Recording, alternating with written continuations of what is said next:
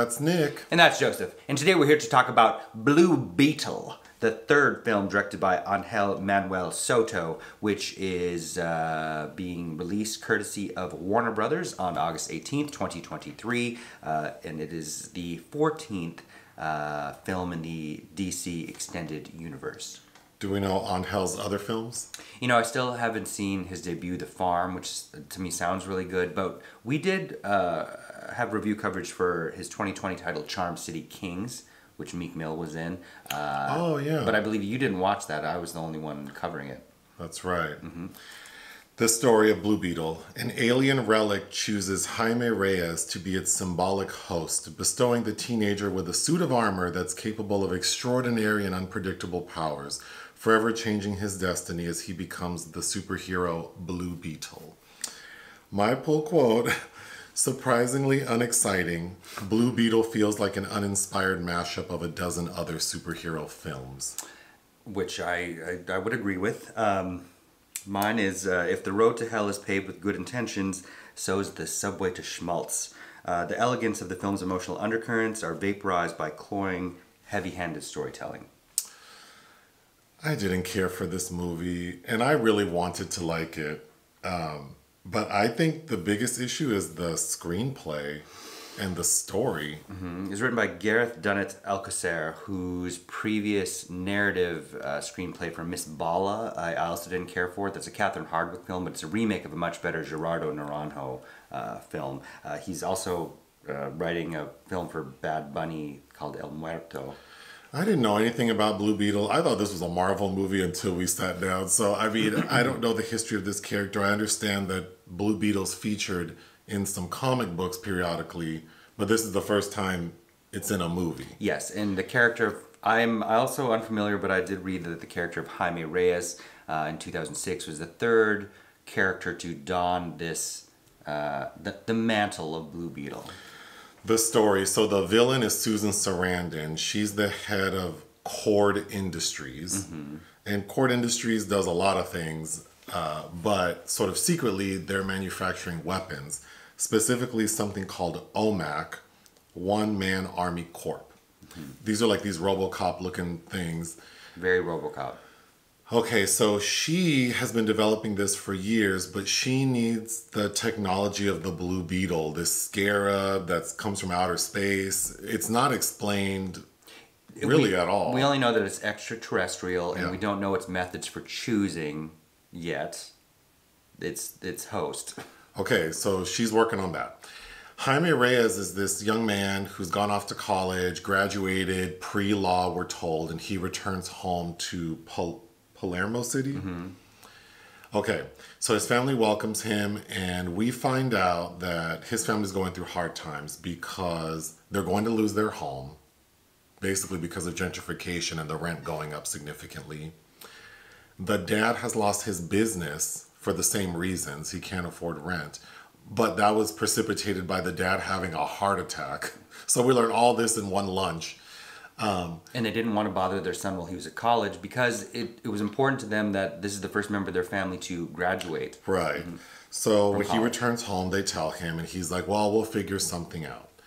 So we flash forward a little bit, and he has not figured anything out, uh, but he's working with his sister doing janitorial services. And we see that they're cleaning the house of Susan Sarandon. So they're not doing their job when we meet Susan's niece, Jenny, mm-hmm. played by. Bruna Marquezine plays Jenny. So Jenny's dad, Ted Kord, he has gone missing.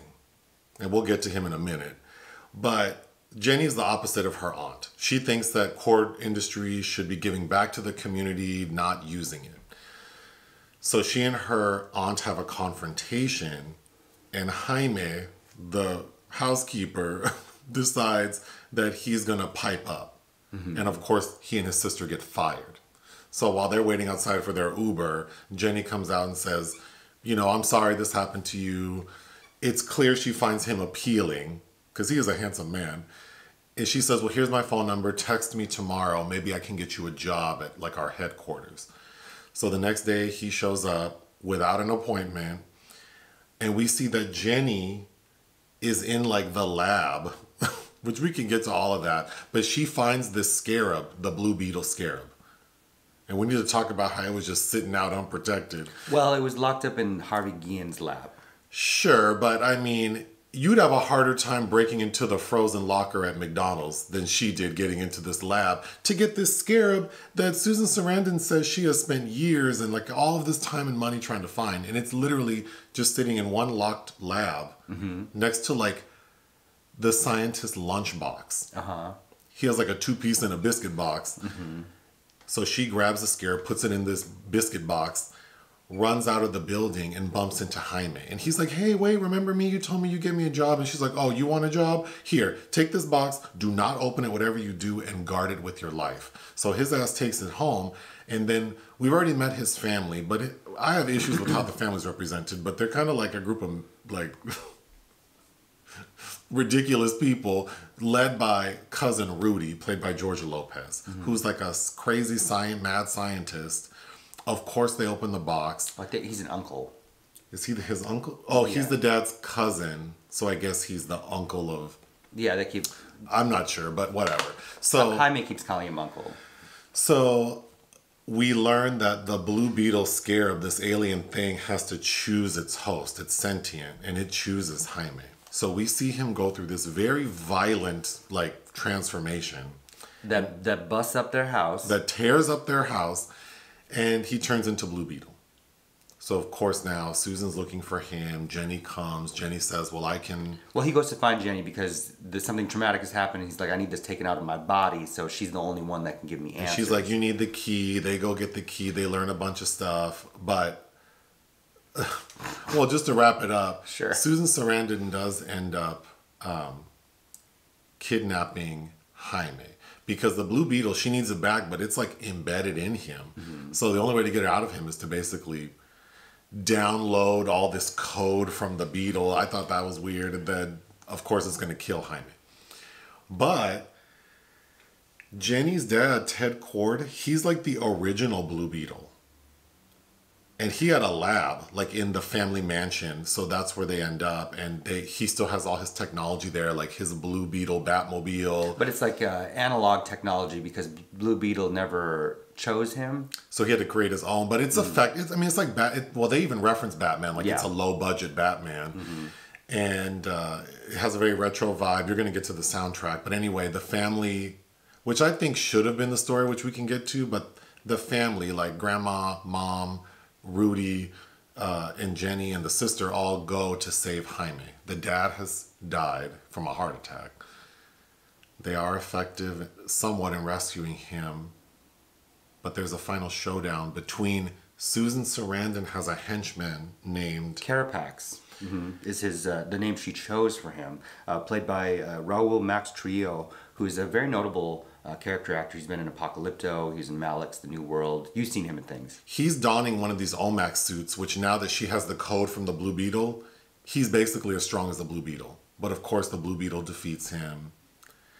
And then all of that code, which we're told by Susan Sarandon's character, is everything she's worked for. Like the code that's in this one external hard drive, it's not uploaded to a cloud or anything.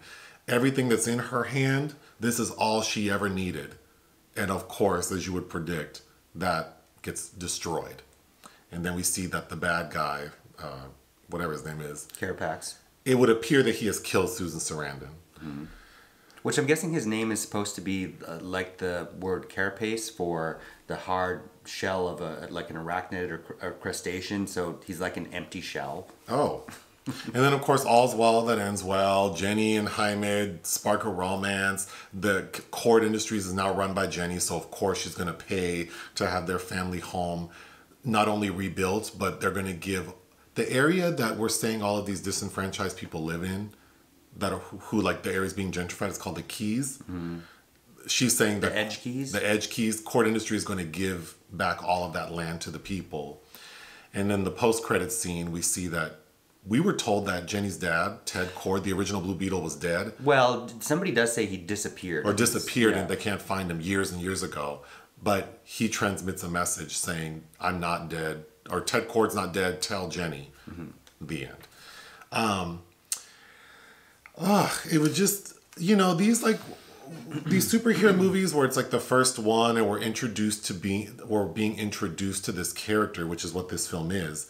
I think this one is probably one of the worst. To me, this was on the level of like Morbius, or it just like Oh, I think it's better than that. I don't know. I was more entertained by Morbius. I just I just hated the way this character's presented. I think that there was a better story within. If you watch the trailer, what's the most fun part of the trailer? The grandma with the machine gun. That was Adriana Barraza, who's She- uh, the Oscar nominee from Babel, who we just reviewed in Monica as well. She's the best part of the trailer, and then in the theater, I thought, oh, this is really funny because we find out her character used to be a revolutionary, and that's why she's handy with a an, an armed or with a firearm. So I don't understand why we didn't focus more on this family and them finding the Blue Beetle's old technology, and they use that to take down a nefarious entity that's maybe trying to like you know oppress people. To me, that would have been the better story, but instead we spent over an hour with Jaime, and he to me is like the most annoying version of like a Peter Parker. Because he's a college graduate who I'm assuming because he studied pre law was going to go to law school. So he should be a very assertive, articulate young man. And he just seems like a bumbling high schooler. He does. He does seem more high school than uh, a college graduate, but I think there should have been, and it should have been reflected in the screenplay of, of him grappling with uh, his assertiveness. I think because you do see that from the moment where he sacrifices his job, he's been taught that he needs to do the right thing, even if it is a consequence to himself, and that is, I think, how we're supposed to read into the Blue Beetle choosing him as like a almost kind of an innocent, but uh, it, it doesn't do a good job of uh, uh, coordinating that in any other way. I'm just gonna go through my notes. So the sister Milagro, she's played by Belissa Escobedo, who we've seen in Hocus Pocus 2. Uh, every time they say her name, I kept thinking, I've never seen the Milagro Beanfield War. that was my go to. noted. she had a strong start. She has some pretty funny lines uh, Early early, on. on. because you know they haven't told Jaime that they're losing the family home. The dad had a heart attack. He's lost his business. So it's at lunch that Milagros finally like, we have something to tell you, and then she kind of just spits it out, and then they're going so now everyone knows about their financial troubles and they're talking about how Jaime's you know the first one in the family to go to college. And then she goes yeah the first and the last one to go to college. And then when we get to their job in the future sometime cleaning Susan Sarandon's house we see that like her patio furniture like underneath is covered with like someone stuck a bunch of gum underneath and immediately I'm like immediately I think what kind of rich people would be Are so tacky Yeah. to put gum under this expensive furniture and then we find out it's Milagro doing it and she's like oh for job security that was the energy I liked from her but then after that it just sort of becomes like she's there's not much to her character And the same with the rest of the family, except Yeah. for George Lopez. Yeah. Um, this whole one man army corps business, I feel like it's very Robocop to me, and we never get an explanation of the scarab. And the opening scene is Susan Sarandon going to like some site, like some dig site, where they have found this huge boulder and they're digging in it because they believe the scarab's in there. But we're told by one of the scientists, played by Harvey Guillen. that you know we've done this many times before and we were wrong so don't you know don't get too excited. And she's like no i know that it's in there. And then we cut to jaime returning home. So we don't learn that she actually found it until jenny walks into the lab and grabs it. I just thought that was so weak that something that was so important to the plot just gets kind of like meh there it is. And we don't know what it does. And it's this alien entity but it has code that you can download. Mm-hmm. Like I'm downloading a extension to my Chromebook. Well, like it's I an, mean, it's an alien entity that's voiced by pop star Becky G. But this it start it sounds like some straight up AI. I don't even know why they needed. I don't. They just should just coded that dialogue for a robot to read. and that alien's name is Khaji-Da. Mm-hmm. So I like, and we only know that because Jaime is saying, "Oh, I feel it in my mind, and it's like I can talk to it, and I know its name is Khaji-Da." I thought the voice of this thing was so annoying. I'm sorry. I just it was so annoying because it's kind of it's like robotic, but it's sentient, so it kind of has a little bit of an attitude. And then the whole MO of Khaji-Da is to protect its organic host, right? Because it needs it to persist. So we see that it can take over and like execute whatever it needs to do perfectly, right? Mm-hmm. But then sometimes it just lets him fail. And then sometimes it says, I recommend you do this, I don't advise that. But then sometimes it overrides him. If the goal of this alien is self preservation, why do you give this, thing, this stupid boy any options? Well, also, why aren't you explaining to him how how this is supposed to work? Or that. Because we spend a lot of time with him kind of fumbling through it instead of like the first time that he puts it on. I, I'll, albeit you know they haven't uh, become symbiotic by then. I don't know. You brought up a good point. Is in the voice work of Venom, I think is makes for a much more entertaining character character work than this. Because in Ven- because in this movie, Khaji-Da's uh, voice, which only he can hear, is very disruptive. Every time it was talking, I felt like it was like like if I were in the movie and someone's sitting next to me talking. Versus Venom, Venom feels like a character. So it was kind of like well integrated into. well, there's a dialogue. Yeah, there's almost. a dialog So I found it very disruptive. I do want to say uh, Milagro had another funny line when Jenny is talking to Jaime after he gets fired. Milagro goes, "Oh, do you need any pre lawyers? Where- Because yeah. he, he has a pre law degree." Well, I thought it was entertaining that she thought she deserved a luxury dump as well. oh, that's right, because she's like a servant, so they have servants facilities, and she's like, "No, I deserve a luxury dump today." So she uses like a main bathroom in the house. So her, she was funny in the beginning. Um, yeah, again, why did Jaime? What did he go to college for if he doesn't understand anything? Well, he he will need to continue his education. Yeah, but he talks about everything. He doesn't understand. Even at the, I guess I can get to it now. I also didn't like how this family was represented because as I was sitting in the audience and like people were laughing at certain things, it very much felt to me like hearing Dave Chappelle talk about why he quit doing the Chappelle show because he felt like people were laughing at him and not like with him. And I just think like this, you know, family is sort of made to seem ridiculous. And I think there were moments when they were doing things that were silly that people were laughing at, like, oh, you're so stupid. That bothered me. Like in the beginning at lunch when they're explaining their financial problems and the bill comes and you know they don't have any money and the dad tips more than 20% and the mom says you know maybe we shouldn't do that. And the dad's like well we don't let's not think about money until tomorrow. And it's like well that's kind of why you're in this predicament probably i don't know. Sure, but it's also meant to show that that dad's um, through line is that we will always overcome because we've we figured out worse things. Yeah, but I, I I guess I wanted this to feel more like I don't know, like a more proud representation of these people and how they've worked hard and circumstances beyond their control have brought them to this situation they're in today. But the way this movie plays out is like they just seem kind of like irresponsible, Chaotic. and, and chaotic. And then Rudy, George Lopez, we haven't even talked about, is like he's funny, and I do like George Lopez. He is funny, but he's ridiculous. And then you have the mom who has nothing to do, the grandma who has nothing to do except in the end. And yes, and these are all notable uh, actors. Elpidia Carrillo, who's the mother, was in Predator, Yeah. of course, and the dad, um, Damien Alcazar, he's been around a, ton of stuff. And I, you know, like the Crime of Padre Amaro is a big one. I highly recommend it. It it was got no play here because it's a foreign film. But in 2015, he's the lead role in this film called Magallanes. Really heavy, hard hitting film. He's excellent. I think people could, you know, because you see four adults living in this little house, and you think like four y'all couldn't pay the bills, but then there's more to it because at a point we understand that perhaps two of them are undocumented. So there are reasons behind why this family has really struggled to transcend their situation. So like I can read into that and see it, but I'm just concerned that other people might look at it and be like, "Oh, this like silly irresponsible immigrant family and their stupid son who graduated college and then all the dis- he really doesn't I don't even think in the end he seems like he's like a bright guy.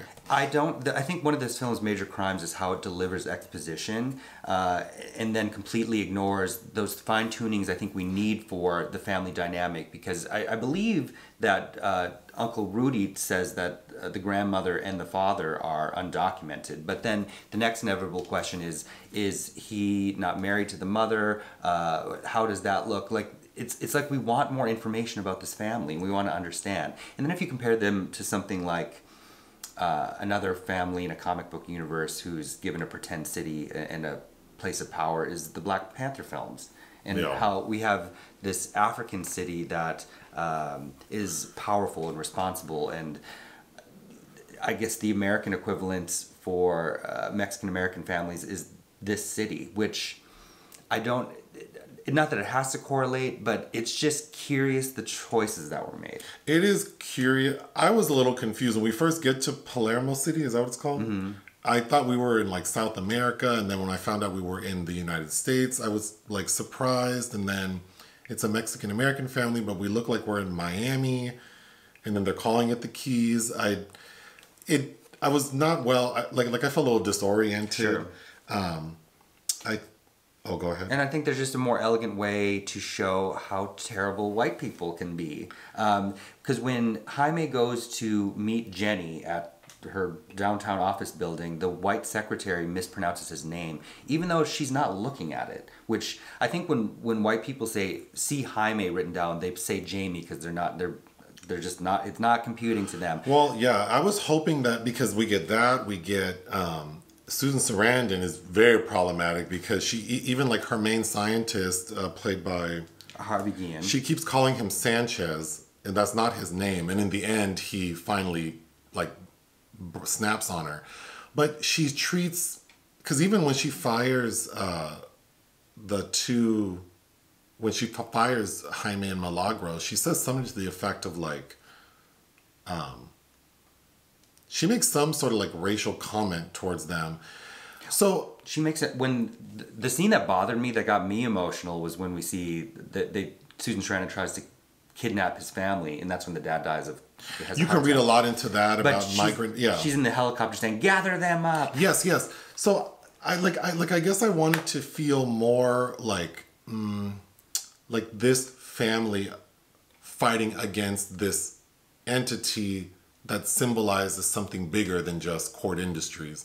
But what it ended up feeling like is just a silly movie about a, a beetle and, and then so then we get the segment where they find blue beetles like retro lab and all of his old you know his old airplane and his weapons and they use that to try to save jaime in the end and then that's where we get a lot of this retro music that i really really liked. The Haxan Cloak uh, who's done who did the uh, soundtrack for Midsommar. Uh, it, it's giving a very 80s Tangerine Dream vibe which I lo- I think my favorite element of the film was the soundtrack. Yes, and that's what made me really long for, or you know, when I, I I really would have loved more time with this family fighting against, and then maybe Jaime doesn't even turn into the Blue Beetle until the end, because we spent a long time with him just kind of fumbling around with this thing inside of him. Mm-hmm. Even when they get to Jenny and her dad's old mansion where the lab is, when they first get there, Rudy's with them, George Lopez, who I don't think we mentioned is like a very smart man who is like understands technology. He builds things. Mm-hmm. He's actually it's his technology that allows them to break into Kord industries to steal the key to get into this mansion. But when they get there, Jaime gets upset at a point when he's told that you can never get this beetle out of you and he runs away. And Rudy goes, "Oh, I know where he went." you And then he goes up to the roof, and I was like, how did Rudy know that Jaime would be on the roof of this enormous mansion that he's never been to? And he just walks up some stairs and he's like, oh, yeah, there he is. Mm-hmm. Like a cat he says uh, yeah the, again that's where the, the there's not a lot of elegance I think in this well, also, how did Rudy know how to operate the Blue Beetle's equipment? Like, everything is just like so intuitive. There's a point where he has like the fart, the, this big bug farts. bug or- farts this big mach- well this spaceship essentially that has a, a mechanism that is a bug fart that they can spray on everybody that I thought was ridiculous. Um, but Susan Sarandon is very uh, like an elementary villain, and it was supposed to be Sharon Stone initially. Well, at one point in the movie, they refer to her. One of the character go. Uh, I think it's Milagros. She goes, "Look at her. She's giving Cruella de Vil mixed with the Kardashians." And I thought, no, she's not. Maybe Sharon Stone could have done that. Yes. But Susan's just like, she's too gung ho, she's too over the top, and that makes her so easy to hate. When something more insidious, I think, would have been more appropriate, like her trying to, you know, superficially trying to foster her niece's uh, position in the company, like mentor her, but really like planning to kill her or something. Susan Sarandon seemed like a white lady in like Newport Beach at a Blue Bottle Cafe complaining about the line taking too long. That's how she just all she was doing was like shouting like grievances and orders. Like, and it, and then Harvey Guillen, I think, is interesting because he's positioned as like a race traitor for his allegiance to her. And it, it really comes through when Jaime is kidnapped. He's like begging him. He's like, "Gee, I'm sorry." And then he, um, for some redemption, he frees Jaime. But then it costs him his life. And we get a flashback of how he was he came to know Susan and we see that she kidnapped him from Guatemala Mm-hmm. and his family was murdered, probably in due part to her doings.